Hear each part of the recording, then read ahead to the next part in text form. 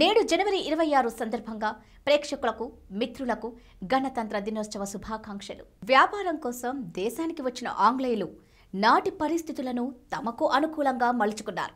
దేశంలో నెలకొన్న అనైక్యతను ఆసరాగా చేసుకొని క్రమంగా పట్టు సాధించారు. విభజించు పాలించు విధానం అవలంబించిన బ్రిటిషర్లు అధికారం హస్తగతం చేసుకున్నారు. దాదాపు రెండు శతాబ్దాల పాటు ఆంగ్లేయులు పాలనలో ఉన్న భరతమాతకు సుదీర్ఘ పోరాటం తర్వాత పంతొమ్మిది వందల నలభై ఏడులో విముక్తి లభించింది. దేశ స్వాతంత్ర్యం కోసం వేలాది మంది ధనమాన ప్రాణ త్యాగాలు చేశారు. అహింస అనే ఆయుధంతో భారతీయులను ఒక్క తాటిపైకి తీసుకొచ్చిన గాంధీ జాతీయ ఉద్యమాన్ని కొత్త పుంతలు తొక్కించారు. అయితే పంతొమ్మిది వందల నలభై ఏడు ఆగస్టు పదిహేనున స్వాతంత్రం వచ్చిన పంతొమ్మిది వందల యాభైవ దశకంలోనే దేశానికి సంపూర్ణ స్వరాజ్యం సిద్ధించింది. గణతంత్ర దేశంగా పంతొమ్మిది వందల యాభై జనవరి ఇరవై ఆరున భారత్ అవతరించింది. అదే రిపబ్లిక్ డే. అయితే దీని ప్రాముఖ్యత తెలియని జనానికి ఇదొక సాధారణ సెలవు రోజు. సరదాగా ఇంటి పట్టున ఉంటూ సినిమాలు షికార్లు షాపింగ్లతో కాలక్షేపం చేస్తారు. దేశ స్వాతంత్రం కోసం ఎన్నో త్యాగాలు చేసి తమ ప్రాణాలనే తృణప్రాయంగా భావించి స్వరాజ్య యజ్ఞంలో సమిధులైన గొప్ప వ్యక్తులను ఈరోజు ఎంతమంది స్మరిస్తున్నారు? జాతీయ సెలవు రోజున ఎంతమంది వారి ఆదర్శాలను వల్లించుకుంటున్నారు? దేశ స్వాతంత్రం మీద నేటి యువతకి ఎంత అవగాహన ఉంది అన్న అంశాలపై ఎవరైనా సర్వే నిర్వహిస్తే సిగ్గుతో తలదించుకునే విషయాలు బయటపడతాయి. అసలు రిపబ్లిక్ డేను జనవరి ఇరవై ఆరునే ఎందుకు జరుపుకోవాలి? అనే ఈ ప్రశ్నకు సరైన సమాధానం చాలామందికి తెలియదు. దేశానికి పంతొమ్మిది వందల నలభై ఏడు ఆగస్టు పదిహేనున స్వాతంత్రం వచ్చింది. అలాగే పంతొమ్మిది వందల యాభై జనవరి ఇరవై ఆరు నుంచి రాజ్యాంగం అమల్లోకి వచ్చింది. కాబట్టి ఏటా అదే తేదీన రిపబ్లిక్ డే జరుపుకుంటున్నామని భావిస్తారు. ఇందులో కాస్త నిజం లేకపోలేదు.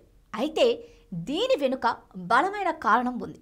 వాస్తవానికి భారత రాజ్యాంగాన్ని పంతొమ్మిది వందల నలభై తొమ్మిది నవంబర్ ఇరవై ఆరునే ఆమోదించారు. దీనిని అమలు చేసే తేదీకి ఒక ప్రాముఖ్యత ఉండాలనే ఉద్దేశంతో రెండు నెలలు వేచి ఉన్నారు. లాహోర్ వేదికగా పంతొమ్మిది వందల ముప్పై జనవరి ఇరవై ఆరున కాంగ్రెస్ పార్టీ జాతీయ సమావేశంలో తొలిసారిగా పూర్ణ స్వరాజ్యం తీర్మానం చేశారు. నెహ్రూ సారథ్యంలో రావి నది ఒడ్డున త్రివర్ణ పతాకం ఎగురవేసి భారతీయుల సంకల్పాన్ని బ్రిటిషర్లకు గట్టిగా వినిపించారు. అప్పటిదాకా కేవలం రాజకీయ ఆధ్యాత్మిక స్వాతంత్రం వస్తే చాలు. సంపూర్ణ అధికారం బ్రిటిష్ వారి చేతుల్లోనే ఉండి దేశం సామంత రాజ్యంగా మిగిలిపోయినా పర్వాలేదనుకునేలా ఉన్న రాజకీయ నేతల వైఖరిని జలియన్ వాలాబాగ్ ఉదంతం ఒక్కసారిగా కళ్ళు తెరిపించింది. నాడు సుభాష్ చంద్రబోస్ జవహర్ లాల్ నెహ్రూ లాంటి నేతలు కాంగ్రెస్ పార్టీలో వేడి పుట్టించి పూర్ణ స్వరాజ్య తీర్మానం ప్రకటన చేయించడంలో సఫలమయ్యారు. ఆ రోజునే స్వాతంత్ర దినోత్సవంగా పరిగణించాల్సిందని కాంగ్రెస్ పార్టీ దేశ ప్రజలకు పిలుపు కూడా ఇచ్చింది. అంతటి చారిత్రక ప్రాధాన్యం ఉన్న తేదీకి చిరస్థాయి కల్పించాలన్న సదుద్దేశంతో నవభారత నిర్మాతలు మరో రెండు నెలలు ఆగి పంతొమ్మిది వందల యాభై జనవరి ఇరవై ఆరు నుంచి రాజ్యాంగాన్ని అమల్లోకి తెచ్చారు. జనవరి ఇరవై ఆరు పంతొమ్మిది వందల యాభై నుంచి బ్రిటిష్ కాలం నాటి భారత ప్రభుత్వ చట్టం పంతొమ్మిది వందల ముప్పై ఐదు రద్దయింది. భారతదేశం సర్వసత్తాక సామ్యవాద లౌకిక ప్రజాస్వామ్య గణతంత్ర రాజ్యంగా అవతరించింది.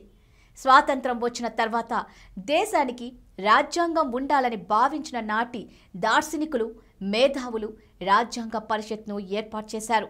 దీనికి అధ్యక్షుడుగా డాక్టర్ బాబు రాజేంద్ర ప్రసాద్ను ఎన్నుకోగా రాజ్యాంగ రచన ముసాయిదా కమిటీ చైర్మన్గా డాక్టర్ అంబేద్కర్ చైర్మన్ను నియమించారు.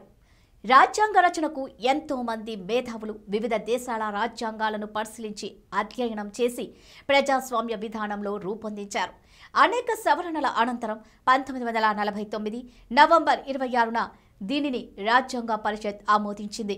భారత రాజ్యాంగాన్ని రూపొందించేందుకు రెండు సంవత్సరాల పదకొండు నెలల పద్దెనిమిది రోజుల కాలం పట్టింది. రాజ్యాంగ రచనకు మొత్తం అరవై నాలుగు లక్షలు ఖర్చయింది.